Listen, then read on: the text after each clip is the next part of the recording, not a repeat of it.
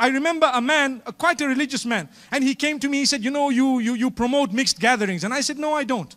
And he says, okay, I might have been somewhere where there might have been something, but it doesn't mean I promoted it because I visit airports and train stations and so many different places, and I, I happen to sometimes sit next to people of the opposite sex. I got nothing, no say over that, right?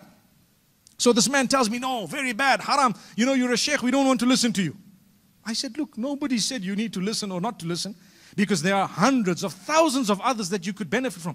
Paradise doesn't come through my path. Remember this. I always say this. There is not just one sheikh on the globe. There are hundreds of thousands.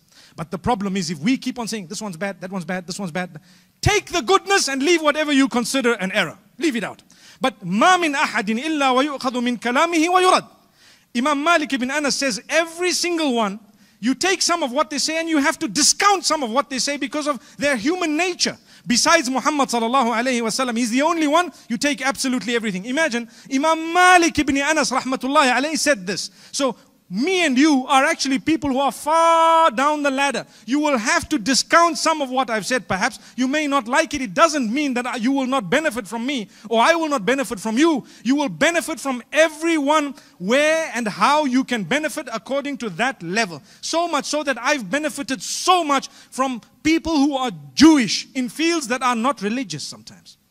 I've had teachers who've been Muslims, non Muslims, and all sorts of other faiths who taught me mathematics and biology and geography and so on. I benefited so much from them. I took whatever I could in terms of the goodness. But the day they spoke about something that I felt this is now stepping territory that I shouldn't be taking from, I didn't take it. But I didn't swear them in return. I took. So if that's the case with the non-Muslim, what about the Muslims? Amazing. You have so many people, every little while you see a clip saying, be careful of this man, be careful of that man. Be careful of the whole world because you have to be careful. Subhanallah. You have to be careful. I am careful and so should you. But if I've said something that helps you, thank Allah, perhaps pray for me. It doesn't make me a prophet.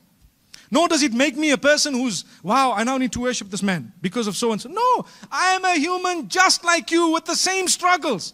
Perhaps even struggling in a bigger way. Who knows? But we just look at things from a different perspective with the light of revelation. And that makes us content. That's what it is. Makes us happy. May Allah bless us. So, like I was saying, subhanAllah, people look at you and they tell you all sorts of weird things. You know, you are like this and you, relax, take it easy. These are rules that govern us. And we know the reason is we need to pass this beautiful test of Allah subhanahu wa ta'ala.